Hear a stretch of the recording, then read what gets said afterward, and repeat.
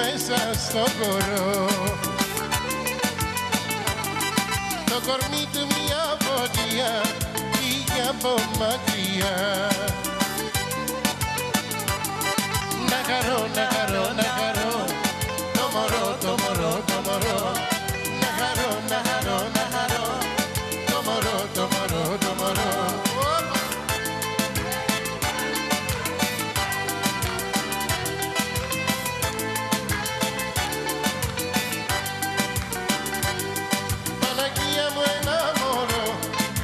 los brazos de Morón.